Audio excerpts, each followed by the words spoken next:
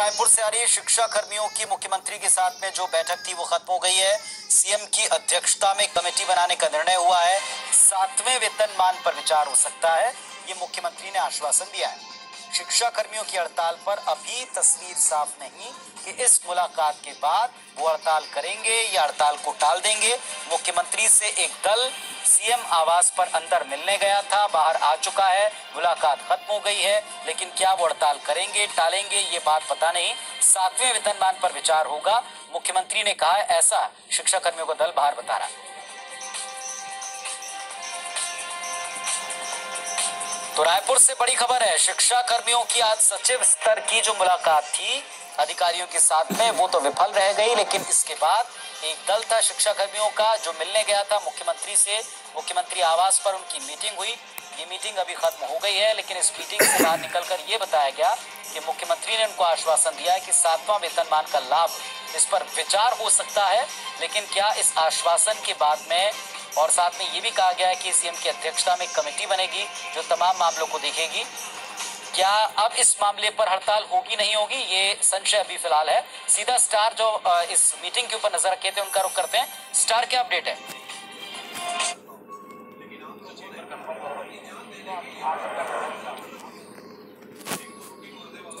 देखिए, बैठक समाप्त हो चुकी है, लेकिन फैसला जो है अभी नहीं हो सका है कि कल यदि हड़ताल रहेगी या नहीं रहेगी। चूँकि चीफ सेक्रेटरी भी मौजूद माफ़ कीजिएगा शिक्षा सचिव और पंचायत सचिव दोनों इस बैठक में मौजूद थे और मुख्यमंत्री खुद इस बैठक में थे। करीब आधी घंटे तक ये बैठक चली है और उसके बाद जो बात सामने आई कि एक मुख्य सचिव के अध्यक्षता में एक कमेटी बनाई जाएगी, जो तीन महीने के अंदर अपनी रिपोर्ट सौंपेगी कि इनकी मांगों पर क्या सरकार स्टेप ले सकती है। जहाँ तक जो सातवें वेतन मान की बात थी तो उसमें ये कहा गया है कि इस पे चर्चा किया जा सकता है, इस पे विचार किया जा सकता है। हालाँकि आश्वासन है, ये निर्णय अभी कुछ नहीं हुआ है तो एक सकारात्मक रूप से देखा भी जा सकता है। लेकिन आखिर में ये डेलीगेशन जो अंदर गया था, वो डेलीगेशन अब तक बाहर नहीं निकला है। इसलिए ये अभी साफ़ नहीं हो पाया है कि कल जो इनकी बीस तारीख से प्रस्तावित हड़ताल थी, वो हड़ताल रहेगी या फिर फ़िलहाल कुछ दिनों तक वेट किया जाएगा। हमारे साथ आप देख सकते हैं शिक्षा कर्मी मौजूद है यहाँ पर तमाम वो खुद इंतज़ार कर रहे हैं कि क्या फैसला आता है क्या इंतज़ार है आप लोग को आप लोग का डेलीगेशन अंदर गया हुआ है क्या आप लोग कहना चाहेंगे?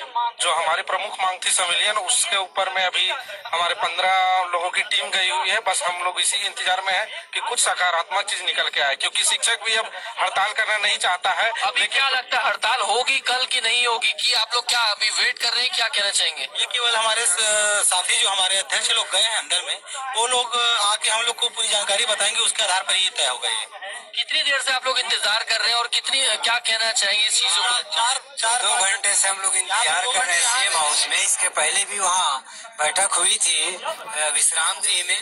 वहाँ सकारात्मक बात हुई थी पंचायत से सकारात्मक बात हुई थी दिन भर से आज ये बैठक में शामिल थे।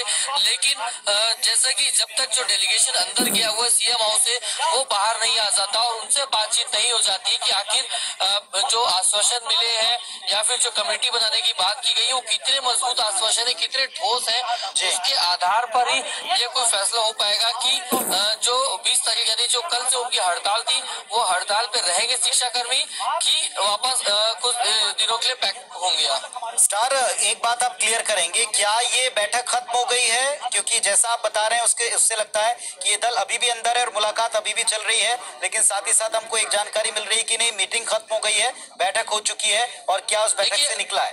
तो क्या स्थिति है फ़िलहाल? देखिए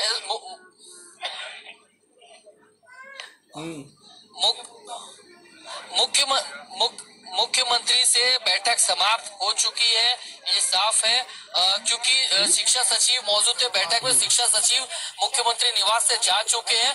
अब जो जानकारी है हमारे पास, सिर्फ़ शिक्षा कर्मियों का जो डेलीगेशन था अलग अलग प्रतिनिधि मंडल जो अलग अलग शिक्षा कर्मियों के संगठन मिलकर जो एक संयुक्त संगठन बना था, उनके पंद्रह प्रतिनिधियों का एक डेलीगेशन अंदर गया, वो आपस में बैठ रहा है और वो चर्चा कर रहे हैं कि आखिर क्या इसमें आगे हो सकता है, क्योंकि स्टेप उन्हें उठाना है कि आगे हड़ताल पे जाना है या हड़ताल से वापस आना है। चलिए बहुत बहुत शुक्रिया स्टार आपका इस पूरे डिटेल के लिए, पूरी जानकारी के लिए। तो जैसा स्टार हमको दिखा बता रहे हैं कि एक डेलीगेशन जो मिलने गया था सीएम से, वो मुलाकात खत्म हो गई और सीएस के साथ में मिलकर एक कमेटी बनेगी जो इस मामले को देखेगी। साथ ही साथ संविलियन की मांग फ़िलहाल नहीं मानी गई है, ये बात साफ़ दिख रही है।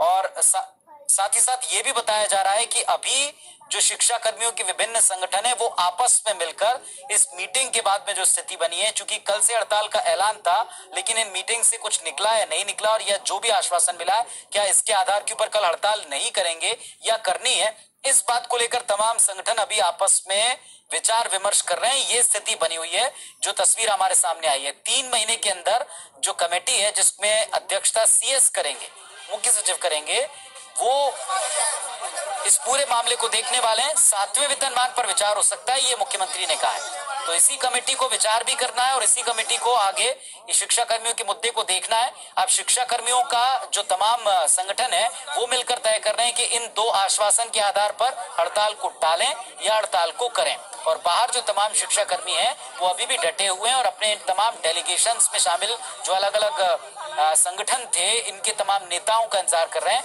कि वो बाहर आकर क्या कहते हैं।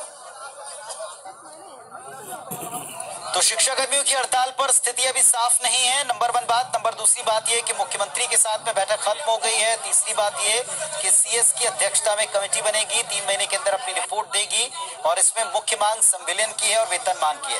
संविलियन की मांग को लेकर के कोई स्पष्ट जानकारी आई नहीं, लेकिन सातवें वेतनमान का लाभ दिया जा सकता है। ये मुख्यमंत्री का आश्वासन है। सीएस की अध्यक्षता में कमेटी बनेगी, ये दूसरी बात है। लेकिन अब इस आश्वासन के आधार पर क्या कल के, कल का हड़ताल जो है वो उसको टाला जाएगी या फिर उस हड़ताल को किया जाएगा, इसको लेकर अभी मंथन जारी है और शिक्षा कर्मी वेट कर रहे हैं कि उनके नेता क्या कहते हैं।